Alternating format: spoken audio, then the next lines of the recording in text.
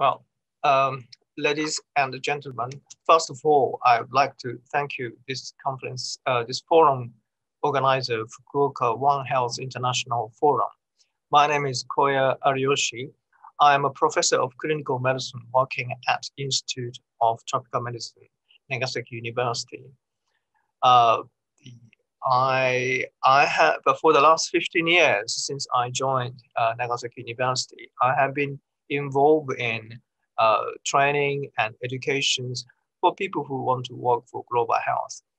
And as you know, uh, tropical medicine global health has a lot to overlap with uh, One Health and also planetary health. Therefore, I titled uh, like this newly emerging education training program for global health, uh, One Health and Planet Health in Nagasaki University.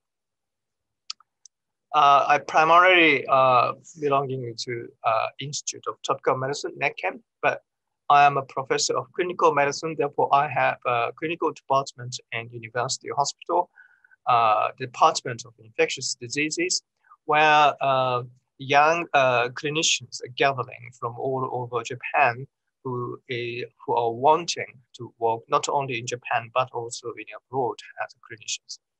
In addition, uh, about five years ago, we established so-called School of Tropical Medicine and Global Health. This is the first ever postgraduate uh, uh, schools in Japan, specifically uh, working on tropical medicine and global health, which was uh, uh, quite, we got great support from our overseas counterpart, London School of Hygiene Tropical Medicine. So today, this is the content of today's my talk. Initially, I talk about uh, our newly emerging education and training programs in Nagasaki.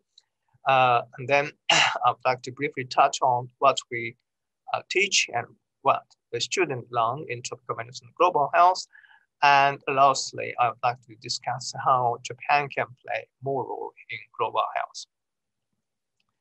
Now, this is a, a, very important background I need to talk about our newly emerging uh, education program and our special uh, partners, uh, London School of Hygiene Tropical Medicine. This is a Senate House of University of London, London's London School of Hygiene Tropical Medicine. LSHTM is uh, uh, just in front of uh, Senate House and behind the British Museum. And it's named the Tropical Medicines but more importantly, it's named hygiene before tropical medicine. Uh, therefore, uh, I think uh, this uh, people may not know this uh, school is the, the, top school for public health and not only uh, tropical medicine. The why these two are together and which is highlighted, perhaps is illustrated by this the pump, the famous pump of which the handle was uh, removed by uh, Dr. John Snow about 1800s in order to control cholera outbreak in London. And therefore, tropical medicine and public health are very closely linked. Uh, I have a very unique background. I spent quite many years, on and off, 10 years in UK academia and this is the, my colleague. I spent six years working in West Africa, UK Medical Research Council laboratory. And, uh, and I was only one Japanese working there. And I noticed that I always felt uh, Japan's appearance is very uh, uh small uh, from global point of view. And, but I thought Japan has a lot of potential and Japan can play more role in global health if we work more closely together with our international counterparts. And then I said that one to my uh, colleagues. They uh, shared my view. They thought maybe uh, Japan can play more role. And, and then particularly the current head director of London School of Hygiene Tropical Medicine, Professor Peter Piot, Baron Peter Piot. Um, he was, he is a former, uh, the first director of UNAIDS, and he's one of uh, first discoverer, discoverer of Ebola viruses. And he agreed with us, our idea, and then he invited us to open a Nagasaki University Marketplace in uh, 2014, where he declared uh, this uh, is not just an individual collaborations between the scientists, but this is institutional partnership, so-called strategic partnership. And because of that, uh, we are given a lot of uh, support from them. For, for instance, one things is that we now can use their teaching education material, particularly their highly reputed epidemiology statistics uh, modules. And so that we can use almost uh, for free the teaching material like that. And we uh, co-advertise uh, the uh, uh, post, professor's post, which are seconded to Nagasaki University. Now we have two professors, one uh, professor of epidemiology, Professor Sharon Cox, and the other one, professor of uh, uh, clinical tropical medicine. Initially, Professor Chris Parry was here, and then now succeeded by Professor Chris Smith. In addition, we have several teaching staffs uh, uh, cross-appointed. And because of that, the Japanese government are convinced that they can provide special uh, financial support. And then well, we are lucky that we built a new uh, global health uh, research buildings in 2015. Now, then we established a new school of tropical medicine, global health. And we started uh, three master course. one is clinical tropical medicine course. The other one is public health course. The, the last one is the, uh, the Master of Science for Global Health Innovations. Um, in addition, in 2018, we now have a, a very uh, interesting, exciting uh, PhD program, so-called joint PhD program for global health. This is the joint, therefore London School, Nagasaki University, uh, both academia jointly supervise PhD. We proposed a PhD, potential PhD project.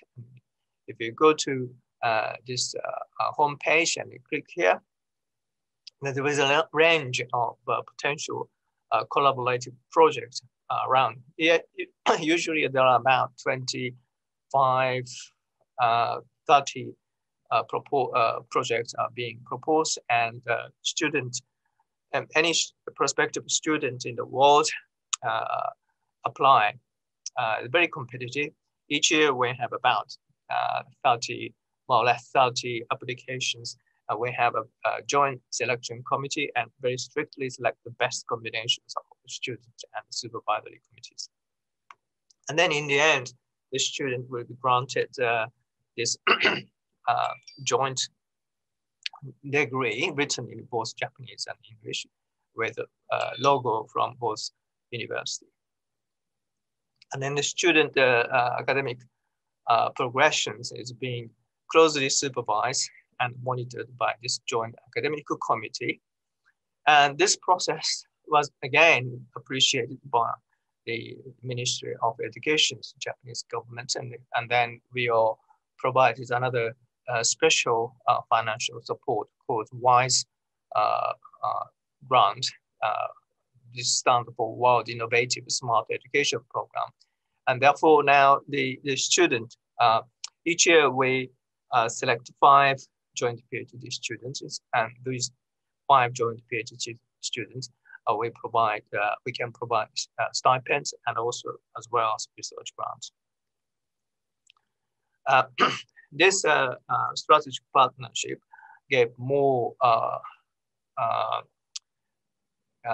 opportunities not only for education but also research, and because London School has a very rich and human research network in African continent, whereas Japan had a very strong uh, uh, um, uh, uh, research and network within uh, Southeast Asia. And then uh, by having the, through this partnership, uh, this is one example. Uh, we have a very nice uh, research stations in Vietnam, and the by collaborating with, with having some technical support from London School Academia, we were succeeded to get multi, multi-million uh, grant from Bill Gates Foundation, which is 10 plus 5 million US dollars foundation uh, fund uh, by uh, Bill Gates Foundations to conduct phase three uh, pneumococcal uh, vaccine trial in, in, in Vietnam. And in order to demonstrate, they even reducing current the standard dose of three doses of vaccinations to two doses or one dose, we could almost achieve the almost equivalent uh, herd immunity. That is our uh, goal. So uh, I have just talked about the our newly uh, emerging uh, education uh, training program in Nagasaki University. Um, and then in, in my second talk, I'd like to touch on what to learn in tropical medicine and global health, especially by introducing our currently uh, developing new course called DTMH. DTMH stands for uh, Diploma of Tropical Medicine and Hygiene. And UK, and as you know, because of the history, they have a quite long, over 100 years of history for training doctors who are working in their former colonies. And they are looking after not only for expatriates who are uh, immigrated to the colony, but also their local people. And the, it's very popular, and not only DTMH, not only run by London School of Hygiene, but also Liverpool University. And they also have a School of Tropical Medicine. They, they have uh, some equivalent to DTMH. In addition, in London, about uh, uh, six years ago, they uh, started to run this DTMH in uh, Africa. So on site, the, the students can learn tropical medicines uh, directly by patients on site. Now, similar to that, uh, collaborating with us, or we collaborate with London, so we now started uh, Southeast Asia Professional DTMH and which is now accredited by US uh, the the society. Now, in tropical medicines, uh, diversity is very uh, important. In Africa, uh, they have their own special health issue, and also there are quite a number of infectious diseases which are only present in Africa. Just likewise, in Southeast Asia, uh, we have our own uh, research topic and research uh, issues and public health issues, and also but several diseases which are unique, um, uh, uniquely uh, prevalent in Southeast Asia, such as like uh, in in North Vietnam, in Hanoi, uh, the doctors working there, they quite often see scrub typhus, a rickettsial disease, which are may present in Africa, but people have not really recognized the problems. And in Manila, uh, for instance, after the floods, they have a lot of leptospirosis. Uh, but in Africa, we don't know how much leptospirosis. There, there must be, but the, this is not becoming a big problem yet. Something like that. In addition, through this uh, uh, Southeast Asian DTMH, we also linked to London's and their hospital uh, for tropical diseases. And also we link to uh, a national uh, center for uh, global health and medicines, uh, NCGM. In Tokyo, they have a special uh, ward for imported infectious diseases so that we can learn largely the diseases which are circulating uh, in, in Japan and not only in Japan, but also in UK. Now I would like to touch on the, our new development in Manila. Uh, this is a Philippine National Infectious Hospital called San Lazaro Hospital, where we have about five years, uh, 2015, just over five years ago, we established a new uh, research uh, stations there. And this is the list of the uh, infectious diseases they are looking they are uh, admitting uh, per year. As you see that the you know, for dengue fever alone, they have nearly 5,000 admissions of dengue fevers. Tetanus 200. Uh, in whole Japan, there are about five 100 of tetanus cases being reported. So you can see how uh, you know how much uh, how profound experiences these doctors working in San Lazaro Hospital have it. And then I personally believe that uh, none of these disease, uh, uh, uh, any of these disease, there is always some potentials. Somewhere in Japan, we may see these diseases in this globalized era. So the, for the next generation of Japanese medical personnel, they also should be prepared to see any times, any day in Japan, anywhere, we may encounter this disease. One good example is 2014's uh, dengue outbreak in Yoyogi Park in Tokyo. And therefore, you know, I, I think this is a fantastic opportunity for Japanese young uh, generations of uh, clinicians or medical personnel uh, to learn about uh, these diseases in the Philippines. Therefore, DTMH, in the last two weeks, uh, we provide the students to do some bedside teaching and also the, the student go to the Leyte Island where uh, Japanese uh, schistosomiasis are quite endemic and so that they will know how the, these parasites are transmitting uh, uh, in, in that environment. And these pictures were not taken uh, last year. This was taken from the year before the last 2019, before the COVID outbreak happens. And uh, so this is what happening. And also tropical uh, medicines, uh, the what kind of disease, what sort of issues we need to learn about tropical medicines. Uh, you know, the key word is animal because many tropical infectious diseases and also emerging infectious diseases, they are zoonoses. So that the, the student have to learn about which animal, uh, what kind of animal, how they transmit the pathogen to humans. And also uh, quite a lot of tropical infectious diseases, uh, they are transmitted by the vector animal and arthropod. So, uh, you know, the, the student have to learn about the tick and mites and mosquitoes, sandflies, and other insects and how it transmit, which uh, pathogen transmit to what. And also these uh, vectors are, are, are, quite often influenced by uh, the environmental factors and therefore the student has to know in which environment, which kind, what kind of uh, vectors uh, around, and therefore what kind of disease uh, prevalence. Now this is a picture that where I spend substantial time either as a clinicians or as a researchers collaborating with local clinicians and uh, and in my almost in my entire career, so over 30 years, I started working in Africa, then UK and Japan and, and Asia. Um, then uh, each time I met a friend with the local uh, clinicians and having discussions. Then uh, recently I feel uh, the the world are changing for the last 30 years quite dramatically in a way that the world population is now changing.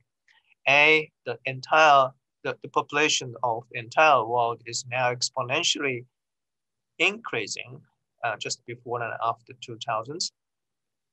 And uh, especially, you know, it's a huge increase in Asia. Now Asian population is becoming older and older. That I really started to notice. I have already noticed.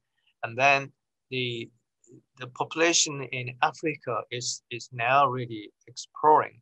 And as a result, what happening is that in many places in so in the past we thought this is the country of you know the rural area. Now it's big cities, mega cities around in developing countries, in many developing countries.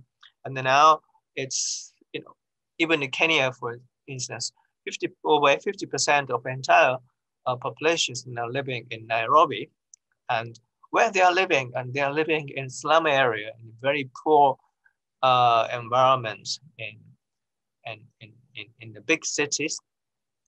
Congested. Congested means uh, human to human contact now is exponentially therefore increased. Um, and then um, as a consequence, what happening is, as you know, the, the environment in, in the whole world or the planet environment, uh, they are now in favor and very favorable for any disease started and it's the support its flare up. So, uh, you know, that's why it's not very surprising now COVID outbreak is everywhere in the world. And uh, and not only COVID before that, I think we have had the SARS and MERS, and, and then 2014 in Tokyo, the dengue outbreak, and 2014 again in West Africa, Ebola outbreak.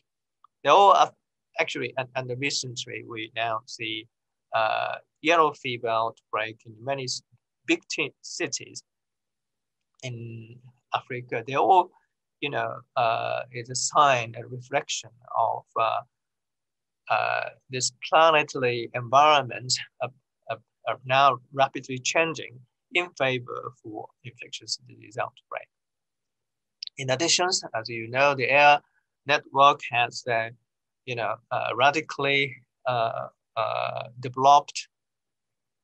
Therefore, I think the whole world are now physically linked, although COVID outbreak now stopped us to develop this air network even further. Having said that, just uh, stopping the uh, enhancing, strengthening quarantine, it should not be perfect at all uh, to stop the virus coming into Japan. I think, uh, in my opinion, I think we are walk, we are now living in one world. Therefore, I think my very important message is no area in the world should not be uh, left as a black box in terms of infectious diseases.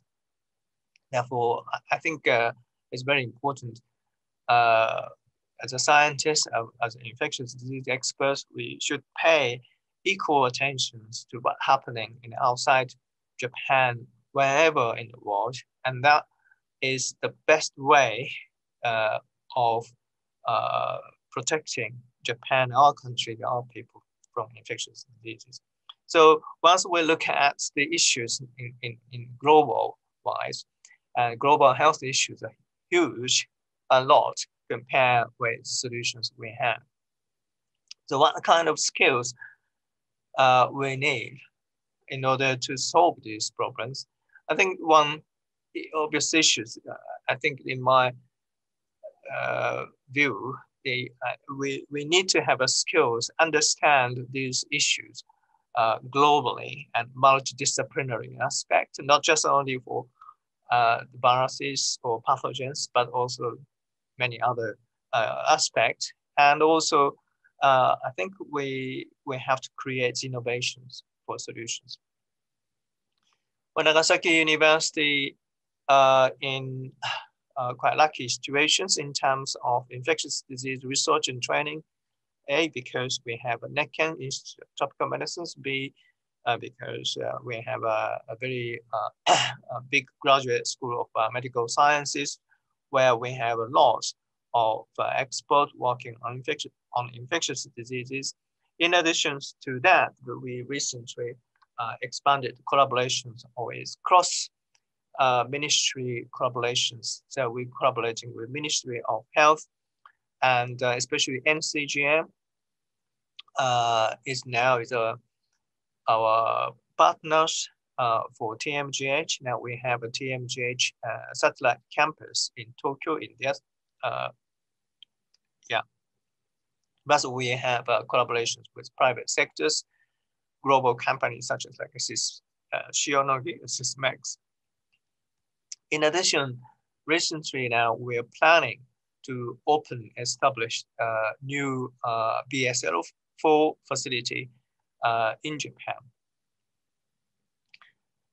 Now, uh, global health uh, our goal is to uh, achieve uh, health equity.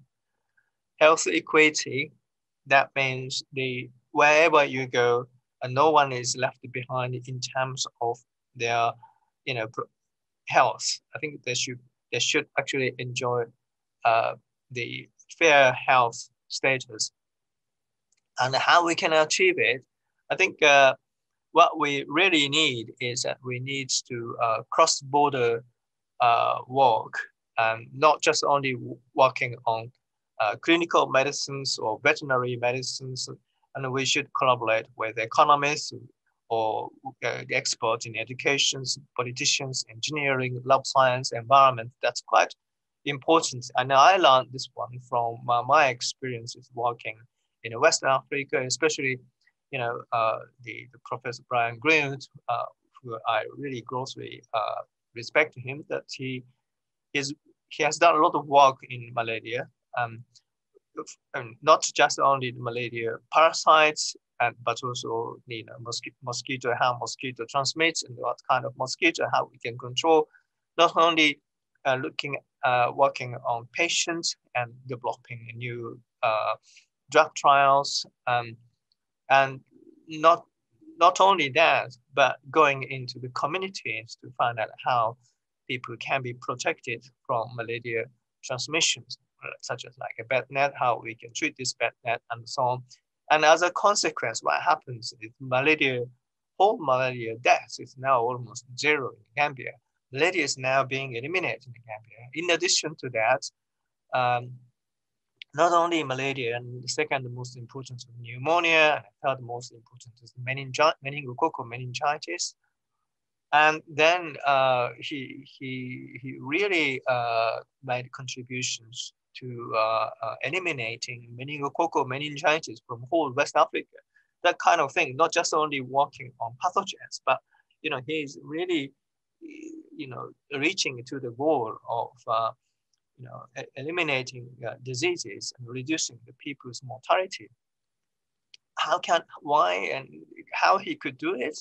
Because he had such multidisciplinary skills. So that's what I believe we created the site. Uh, we for the last two years, um, we have regularly having a joint symposium with the London School experts, so you can see how diverse uh, background uh, our collaborations, our partnership have. And you get, if you go to this URL site, you can you can watch, you can you can listen their lectures. So please come. In addition, so recently we are now trying to develop a new PhD course we call DRPH, traditional conventional PH, PhD. Uh, they do mainly research. Their goal is to produce evidence, and that's it. And then maybe evidence might be reflected on policies. Someone may use that evidence for uh, practice. But DRPH, uh, they uh, focus and they prioritize more about the use of uh, evidence and, and then plan how that can be integrated into the policy or it's, it's now implement as a practice. So that's DL PhD. This new PhD, uh, DL PhD course is now being prepared in TMG Engineering University. So today, I talked about uh, our uh, newly developing uh, education training program, Nagasaki University, especially you know, in collaboration with London School of Hygiene Tropical Medicines. And we touched on what we learned uh, in tropical medicines. There are a lot to overlap with uh, One Health and planet, planetary health. And uh, how we can then, Japan can play more role in global health, what sort of human resources we need and uh, the skills we need to develop. And then uh, but finally, I, I, think how we can, uh, uh, you know, develop such human resources with those skills, and we can work as a team, as a member of one global team, without borders, without institutions, without uh, disciplinaries, without sectors. I think the only the way we can do is such human resources for global health should be cultivated by one team. So not just only one professors uh, teach that one, not only one university teach that, not only one sector to teach that. I think the the whole you know whole the world uh, should uh, train together, engage together to make such personnel. So human resources for global health should be cultivated by one team. We should work as one team. Thank you very much for your listening.